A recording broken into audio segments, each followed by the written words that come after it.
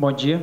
Bom, primeiramente, em relação aos resultados, é, a partir do momento que você depende né, de, de si próprio, como era no, no final, de, na, segunda-feira a gente ganhar da Portuguesa e voltar para a segunda colocação, os resultados a gente até tinha, tinha gostado sim, cara. É, independente da gente ter saído do, do G4, mas tiveram empates, né? Empates você soma só um ponto. E a partir do momento que, como eu disse, você começa a, depender só de si, isso é muito bom. Fomos, fizemos nosso dever de casa, ganhamos o jogo, voltamos para vice-liderança. E é, é, foi o fundamental.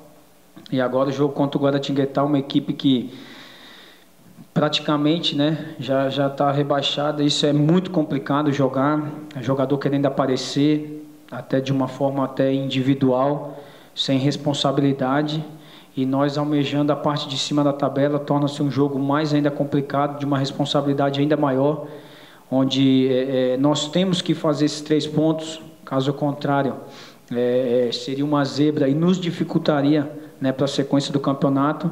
Então nós temos que focar muito essa semana. O Márcio tem cobrado isso já na apresentação hoje.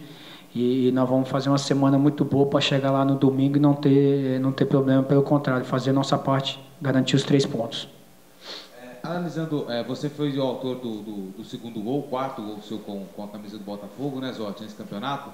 É, só que a gente tem notado que é, você reclamou muito do horário das 11 horas, novamente um, um jogo nesse período, né?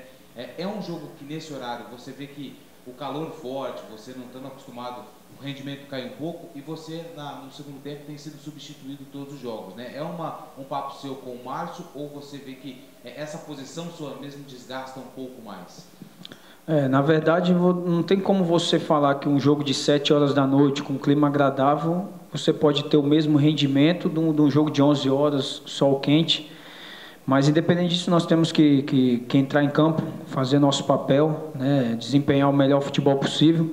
Em relação a sair, como eu disse em algumas entrevistas, eu sou um jogador que eu me dou bastante, né? Eu corro, eu não paro, não sou aquele jogador estático que fica só esperando a bola no pé. Eu tento me movimentar ao máximo. E, e, chega ao final dos jogos, é, é, sem dúvida nenhuma, o, o, cansaço, né? Eu tenho conversado muito com o Márcio, com o Jaime principalmente, né? O Jaime tem feito um, um, trabalho específico e tem me ajudado bastante. Tanto é que eu joguei dois ou três jogos contra o Boa, contra o Macaé, os 90 minutos, né? Então ele tem feito um excelente trabalho em relação a isso daí. E em relação ao Márcio, como eu disse, cara, é um, é, é se hoje o Botafogo tem que dar valor é ao Márcio pelo trabalho que vem fazendo. Né? É, o ano passado, ele, quando eu digo Márcio, digo a sua comissão também. Eu acho que, se eu não me engano, eles perderam cinco jogos no ano, lá no Vila. E desde que chegaram, se eu não me engano, foram quatro. E desses quatro, dois para time grande, Corinthians e, e São Paulo. Então é um cara fantástico, cara. tem me ajudado muito, principalmente nessa, é, nessa entrada na área. Eu tenho feito os gols, coisa que eu não fazia tanto né? É, eu alimentava mais o, o, ataque, então tenho feito os gols. Então acho que o Botafogo tem que valorizar muito ele, porque ele tem feito um trabalho excepcional. Hoje, se você for pegar as duas tabelas, nós somos vice no geral de 20 equipes.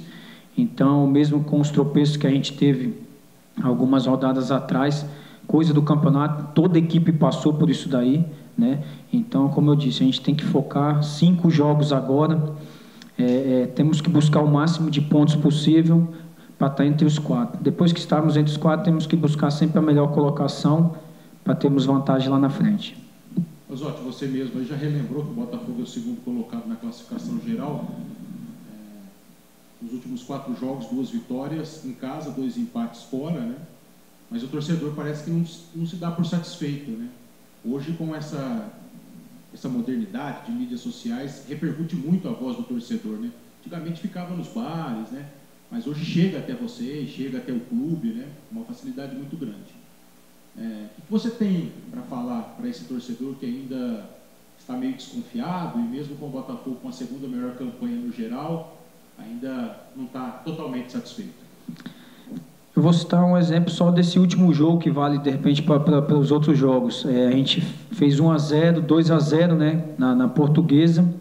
E, e, aí você automaticamente, automaticamente recua um pouco as linhas e dificulta um pouco balançar. É lógico que o torcedor quer que a gente jogue para frente, é, jogue é, ofensivamente, mas a gente tem que valorizar também um pouco a posse de bola e, e, e principalmente não estando com ela, né, fechando as linhas para dificultar muito para o adversário, como nós fizemos no primeiro tempo. No segundo tempo, é, é, por mais que fechamos, mas eles encontraram um gol no começo de bola parada, que isso fez com que eles crescessem né, na partida e buscassem o empate. Né? Então, é, é claro que o torcedor espera, principalmente dentro de casa, é o nosso papel mas a gente sempre busca atacar, atacar, mas ao mesmo tempo, às vezes, a gente encontra né, adversários que vêm fechado, que nos dificultam, que marcam individual, isso também é, é, é, vão buscando nossos pontos fortes, e isso também tem nos dificultado.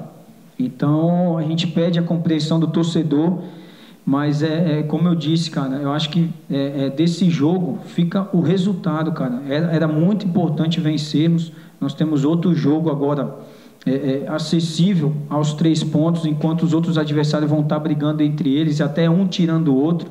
Nós vamos poder abrir, de repente, quatro pontos né, para o quinto colocado, ou até mais, de repente. É, e isso vai dar uma tranquilidade para os últimos quatro jogos. Então, o torcedor tem que. É, eu sei que o torcedor é, é, ele é mais coração do que razão, mas ele, ele tem que olhar na tabela que, como eu disse, de 20 equipes, hoje nós somos a segunda melhor campanha. Né? Então, isso significa que o trabalho está sendo bem feito. Se em algum momento é, é, nós empatamos, perdemos, ficamos por quatro ou cinco jogos sem vencer, mas no começo da competição nós tivemos um índice muito grande de aproveitamento. E isso fez com que naqueles cinco jogos é, não vencêssemos, mas não saímos do G4 em momento algum. Saímos nessa rodada, porém a gente tinha um jogo em atraso. Hoje voltamos e estamos na, na vice-liderança. Então, que o torcedor confie no nosso trabalho, é, falarmos que, que, que, vamos ter esse acesso, nós não podemos garantir nada. Agora, muita luta, entrega, é, uma das quatro vagas, nós vamos buscar essa uma das quatro vagas, e depois no mata-mata aí já é outro campeonato, zera tudo. Se é vantagem jogar o segundo jogo em casa, é, não acredito nisso daí, que a partir do momento que você faz 2 a 0 no primeiro jogo, na minha opinião, você tem que mudar toda uma estrutura de um campeonato inteiro. Você tira um volante, põe um meia, você descaracteriza um pouco né, a, a equipe. Então, é, eu não vejo vantagem nisso daí. Eu vejo que a gente tem que ir buscando pontos, né, principalmente para classificar o mais rápido possível. Depois o Márcio pode testar outras variações, mas a gente pede um pouquinho de paciência para o torcedor, né, principalmente quando a gente vem jogando em casa. Nós fomos contra o Boa lá, jogando super fechado, Boa não conseguiu entrar e nós tivemos a melhor chance do jogo, cara a cara com o Carlos André, poderíamos ter ganhado o jogo. Então são situações dentro dos 90 minutos, por mais que o Guaratinguetá, que é nosso próximo adversário, esteja lá embaixo, mas é, é, não adianta fazer antes nem depois, é dentro dos 90 minutos que nós vamos conseguir os objetivos.